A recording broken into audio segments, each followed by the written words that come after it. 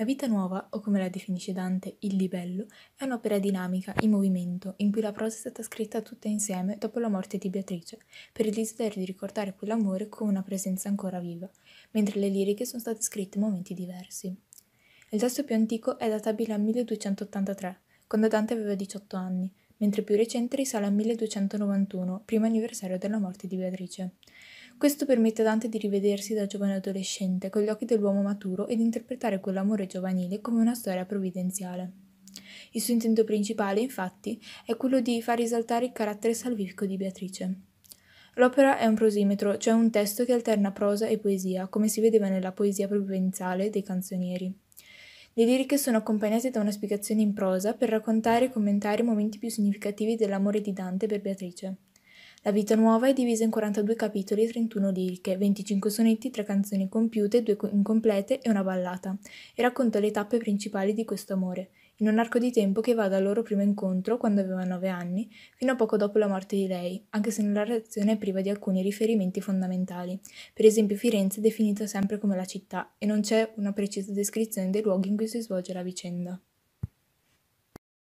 Dopo il primo incontro a nove anni, Dante rivede Beatrice solo nove anni dopo e se ne innamora. Inizialmente si descrive come un amante cortese che ammira da lontano l'amata aspettando qualche cenno da lei. Beatrice viene vista come un ideale di perfezione umana e portatrice di beatitudine. Il suo saluto porta chi lo riceve ad avvicinarsi al paradiso, per questo rimarrà per Dante una guida spirituale anche dopo la morte. Per evitare i pettegolezzi della gente viene usato il trucco della donna a schermo. Dante cioè finge di amare un'altra, ma anche Beatrice crede a questa finzione e non lo saluta più, facendolo sentire ferito e angosciato.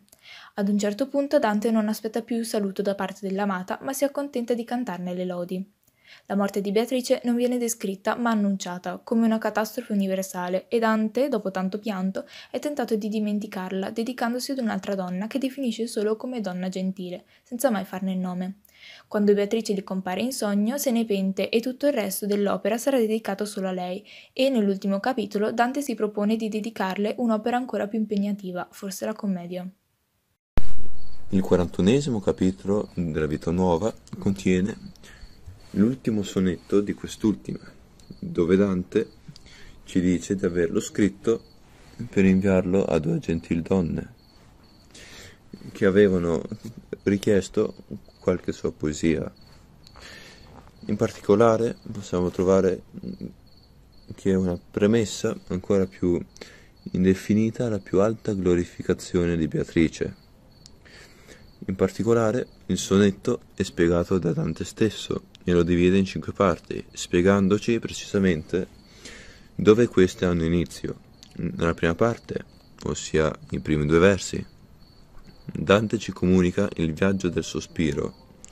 Nella so- seconda parte, invece, terza e quarta verso, introduce l'intelligenza nuova. Nella terza parte, invece, compreso nella seconda strofa, ci comunica ciò che il suo pensiero scorge dell'imperieo, ovvero una donna onorata. Nella quarta parte, prima terzina, afferma di non poter comprendere ciò che ha visto, dato la debolezza dell'intelletto con la conseguente introduzione della poesia dell'ineffabile. Nella quinta e ultima strofa chiarisce che il soggetto della mirabile visione è Beatrice. Adesso vorrei introdurre il sonetto chiamato Oltre la spera. Questo sonetto ha rime secondo il seguente schema ABBA, ABBA, CDE, DCE, sapendo che A, B ed E sono sconsonati. L'ultima poesia della Vita Nuova è la seguente. Oltre la sperra che più larga gira, passa il sospiro che esce del mio cor. Intelligenza nova che l'amore piangendo mette in lui, pur su lo tira. Quando egli è giunto là dove disira, vede una donna che riceve onore e luce sì che per suo splendore lo peregrino spirito la mira. Vede la tal che quando mi ridice io non lo intendo, si parla sottile al cuor dolente, che lo fa parlare. So io che parla di quella gentile, però che spesso ricorda Beatrice, sì ch'io lo intendo ben, donne mie care. Cominciamo ad, ad, analizzare questo sonnetto partendo dalla prima quartina. Nella prima quartina Dante scrive Il sospiro che esce dal mio cuore penetra oltre la sfera celeste, che ha circonferenza più larga. Lo tira di continuo verso l'alto una nuova capacità di intendimento che l'amore mette in lui attraverso il dolore. I tre concetti fondamentali di questa quartina sono i seguenti: il sospiro, la sfera che gira e la parola nuova. Dall'interiorità più intima del poeta si produce uno slancio verso l'alto che raggiunge il paradiso. Il mezzo è attraverso cui questi due estremi del discorso, cioè l'io profondo e l'alto cielo, sono messi in comunicazione e il sospiro.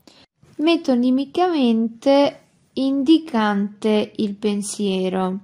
A determinare tale slancio è l'amore attraverso la sofferenza.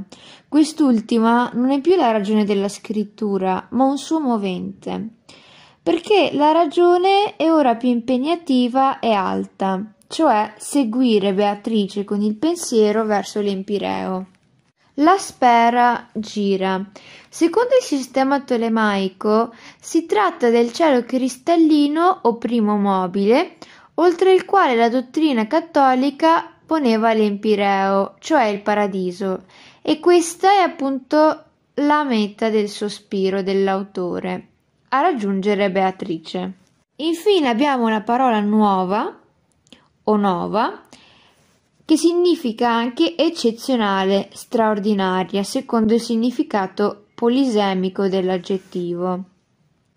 Adesso analizziamo la seconda quartina, dove Dante scrive Quando esso è arrivato là dove desidera, qui stiamo parlando del pensiero, vede una donna, cioè Beatrice, che riceve onore e risplende, in modo tale che lo spirito pellegrino la contempla per la sua luminosità.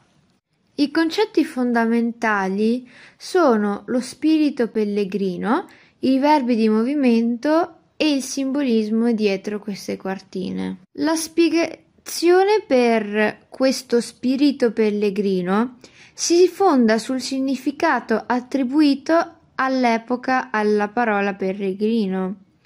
Chiunque sia lontano dalla propria patria e, dato che la vera patria di ogni cristiano è il cielo, Chiunque sia sulla terra. La condizione di Dante che pensa Beatrice sarebbe quella paradossale di chi va con il pensiero nella sua vera patria, cioè il cielo, soggiornandovi come uno straniero. Lo slancio verso l'alto è affidato a una serie di verbi di movimento, spesso in posizione forte, per esempio passa, esce, tira, così come il raggiungimento della meta, che è espresso con la parola giunto al centro del verso 5. Infine abbiamo le quartine che sono dedicate a rappresentare il percorso dal cuore del poeta alla donna in paradiso. Invece le terzine che vedremo descrivono il percorso inverso dall'esterno verso l'intimità interiore dell'io. Queste due parti sono tra loro collegate dalla ripresa di Vedela, verso 9, che rilancia enfaticamente Mira nel verso 8. Va anche detto che i termini essenziali del percorso sono già presenti nei primi due versi oltre la sperra, sospiro, core. vediamo le ultime tre terzine. Qui Dante dice che la vede, cioè parla di Beatrice, la vede così perfetta che quando me lo riferisce io non lo capisco.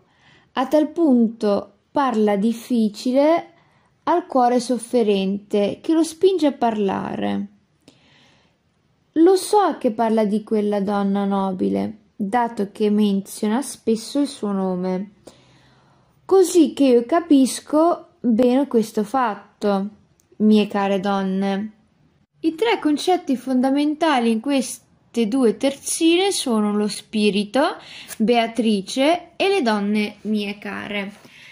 Ad avere mandato lo spirito verso Beatrice è quel cuore stesso che ora, interrogandolo, non ne può capire in profondità le parole, cioè i segni dell'esperienza, benché una cosa almeno gli sia perfettamente chiara. Esso parla di Beatrice dato che ne pronuncia spesso il nome. La apparente voluta contraddizione tra io non lo intendevo nel verso 10 e io lo intendo ben nel verso 14, provocò le obiezioni di Cecco Angiolieri, che rivolse a Dante il sonnetto Dante Alighier, Cecco il tuo servo amico. E non è da escludere che il commento in prosa eccezionalmente circostanziato risponda anche all'esigenza di ribattere alle critiche dell'amico. In questa parte del sonnetto vediamo che Beatrice è la prima e unica volta che il nome compare in questo testo poetico della vita nuova. Ulteriore segno della eccezionalità di questo passaggio. Infine abbiamo Donne mie care che con esplicito rimando al pubblico prediletto coerentemente alla svolta di Donne che avete intelletto d'amore. Ovviamente noi sappiamo che della nuova poetica fa parte organica la scelta di un nuovo pubblico, cioè la consapevolezza di fondare una nuova letteratura. Il nuovo pubblico dovrà caratterizzarsi, secondo la fondamentale dichiarazione di donne che avete intelletto d'amore, tanto per l'esperienza diretta dell'amore quanto per la consapevolezza teorica del suo significato, quale è dato nella tradizione e quale verrà riposto da Dante stesso. Bene, ora andremo a parlare dell'ultimo capitolo della Vita Nuova composto da Dante, in cui esso dice Appresso questo sonetto apparve a me una migliorabile visione, nella quale vidi cose che mi fecero proporre di non dire più di questa benedetta, infino a tanto che io potesse più degnamente trattar di lei.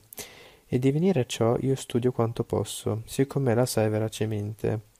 Sicché, se piacere sarà di colui a tutte le cose vivono, che la mia vita duri per alquanti anni, io spero di dicer di lei quello che mai non fu addetto d'alcuna. E poi piaccia a colui che è essere della cortesia, che la mia anima se ne possa agire a vedere la gloria della sua donna cioè di quella benedetta Beatrice, la quale gloriosamente mira nella faccia di colui cui est per omonia secula benedictus. In questo caso possiamo vedere appunto ciò che dice e afferma Dante, principalmente lui in questo ultimo capitolo ci conferma che non andrà più a parlare di Beatrice. Ora vediamo che cosa succede. Inizialmente l'opera si era aperta con la celebrazione della funzione della memoria, Mauro l'autore preannuncia una svolta decisiva nella propria letteratura. Dante si ritrova impossibilitato a continuare la propria attività di scrittore sul modello seguito fino ad ora, ovvero rinuncia a parlare della donna amata, almeno fino a quando non potrà dire di lei quello che mai nessuno ha detto di alcuna altra donna. Questa svolta avviene dopo una mirabile visione, che ha per protagonista ovviamente Beatrice. Come vi si può anche notare qua eh, a destra vi è appunto l'immagine di Dante a Firenze che appunto intravede Beatrice e eh, tramite questa visione lui appunto capisce che um, lui non tratterà più di Beatrice all'interno dei suoi componimenti, che deve insomma in un certo senso smettere di parlare di questa